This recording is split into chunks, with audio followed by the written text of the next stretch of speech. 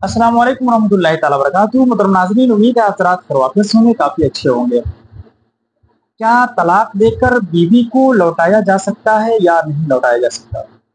इसलिए कि अभी बहुत सारे लोग जो हैं, अपनी बीवी को तलाक दे देते हैं और वो हमारे कराम से पूछते हैं कि हज़रत, मैंने अपनी बीवी को तलाक दे दिया है, अब उसे कैसे लौटाएँ? उसका क्या कफारा है? कैसे तोबा वगैरह करें? ये सारी चीज़ें हमारे उलमा कराम से पूछते हैं मेरे भाई। पहले तो उन्हें कोई फ़िक्र होती नहीं है।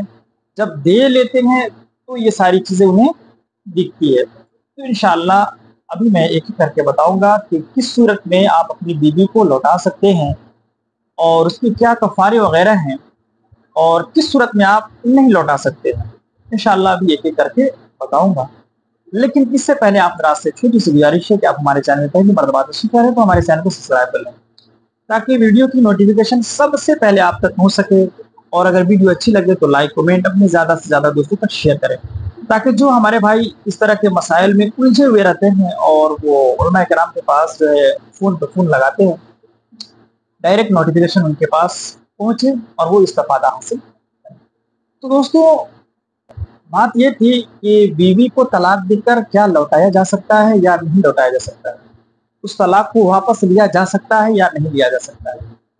तो मेरे भाई, याद रखिए कि एक मर्द और औरत का जब निकाह होता है तो शरीयत मर्द को इख्तियार देती है कि वो तीन तलाकों का मालिक होता है। यानी उसके पास तीन तलाक होते हैं।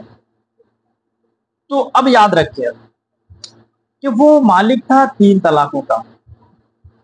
उसने अपनी बीवी को लफ्ज सरीहा से दो तलाक दिया। यानी उसने जैद ने अपनी बीवी को यह कहा कि मैं तुझे तलाक देता हूँ, मैं तुझे तलाक देता हूँ। दो तलाक दे दिया। लफ्ज सरीहा से, यानी सरी उस लफ्ज को कहते हैं कि जिससे ये ज़ाहिर व बाहिर हो और जिससे ये खुलासा कलाम, ये बात समझ में आ जाए कि बंदा ये तलाक देना ही चाह रहा है और तलाक ही दिया है। जैसे तलाक वगैरह के अल्फाज ये सरी लफ्ज है। इसमें टाल मटोल और इधर उधर घुमाने की कोई ज़रूरत नहीं। कोई भी बंदा ये समझ जाए कि वाकई में इसने तलाक दिया है, तलाक देना चाहता था। तो लफ्ज सरिया से अगर किसी ने अपनी बीवी को तलाक दिया यानी जैद ने ये कहा कि मैं तुझे तलाक देता हूँ, एक मरतबा कहा या दो मरतबा कहा? तो इन दो तलाक को रजाई कहा जाता है। यानी अगर किसी ने लफ्ज सरी के ज़रिए दो तलाक दिया तो इसे रजाई कहा जाता है। तो अब इसकी सूरत यह है कि अगर किसी ने अपनी बीवी को एक तलाक या दो तलाक दे दिया तो इद्दत के अंदर अंदर, यानी तीन पीरियड, तीन एमसी के अंदर अंदर अगर वो अपनी बीवी से ये कह दे कि मैं तुझे रुजू करता हूँ, मैं तुझे अपने निकाह में लेता हूँ, या वो फेल अपनी बीवी के साथ करता है जो मियाँ बीवी जो है आपस में करते हैं, जैसे हम बिस्तरी वगैरह, बोसो किनार वगैरह इस नियत से वो करता है कि मैं अपनी बीवी को जो है अपने निकाह में वापस लेता हूँ तो मेरे भाई, वो बीवी हसब मामूल बीवी बन करके लौट जाती है, निकाह वगैरह की ज़रूरत नहीं पड़ते। जी हाँ। ये बात समझ में आ गई होगी कि अगर किसी ने अपनी बीवी को सरीह लफ्ज से अगर तलाक देता है, एक तलाक हो या दो तलाक हो तो एक भी देता है लफ्ज सरी से तो फिर भी वो रजत कर सकता है। इसी तरह अगर दो तलाक भी देता है लफ्ज सरी से तो उससे भी रजत कर सकता है। यानी इन दो तलाक को तलाक रजाई कहा जाता है, जो तलाक जो है सरी लफ्ज के ज़रिए दिया जाए। तो इद्दत के अंदर अंदर अपनी बीवी को जबान से कह करके या फिर वो फेल करके और अपने निकाह में वापस ले सकता है। लेकिन अगर इद्दत गुजर जाए, यानी तीन पीरियड तीन एमसी वगैरह अगर गुजर जाए तो वो जो है औरत निकाह से बाहर हो जाती है। अब फिर अगर उस बीवी को अपने निकाह में लाना होगा तो उसके लिए ज़रूरी है कि निकाह करना पड़ेगा। तो ये बात तो समझ में आ गई कि लफ्ज शरीर से अगर किसी ने अपनी बीवी को अगर तलाक दिया तो कैसे वापस लेना है? या तो वो जबान से कह दे कि मैं तुझे रुजू करता हूँ या फिर आ, वो काम करे हम सरी वगैरह बोसो किनार वगैरह करे तो वो जो है बीवी बीवी बन करके वापस आ जाएगी इद्दत के अंदर अंदर।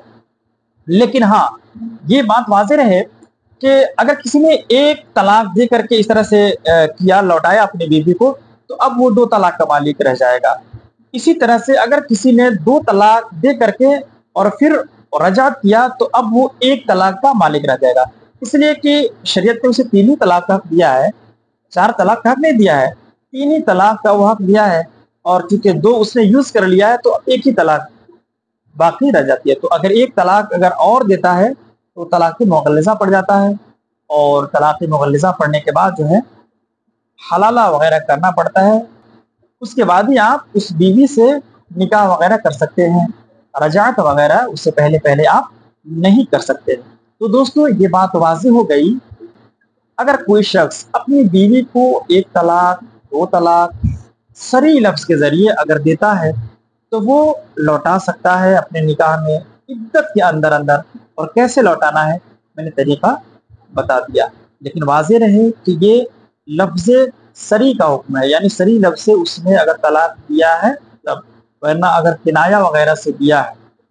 किनाया ये समझ लें कि जैद ने अपनी बीवी से कहा कि तुम मेरे घर से निकल जाओ।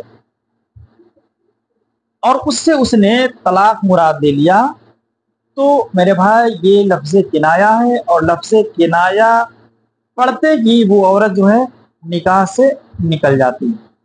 अब यहाँ वो रजात नहीं कर सकता है। इसके लिए ज़रूरी है कि वो तस्दीद निकाह करेगा, तभी जा कर के वो औरत उसके निकाह में दोबारा वापस आएगी। वो मसला अलग है।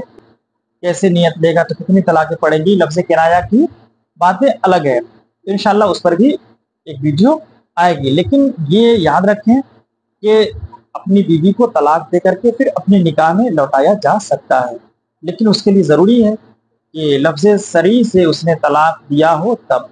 वरना अगर किनाया वगैरह के अल्फाज से दिया होगा तो उसके अलग मसले हैं।